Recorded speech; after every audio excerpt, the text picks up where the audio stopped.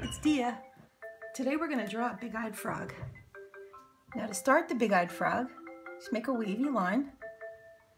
And then at the ends of the wavy line, draw two big circles. These are his big googly eyes.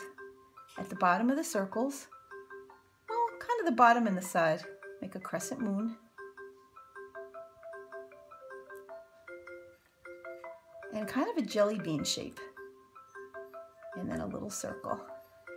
The jelly bean shape acts as a reflection. Now on the side, draw three bumps. One, two, and a bigger one at the bottom for his legs. Do the same on the other side. And for his front legs, draw two lines with three little toes. And at the end of each toe, draw a little circle. Do the same on the other side. And don't worry if they're perfect. Now for his back legs, come back to this little bump, go in a little bit, and then go back out.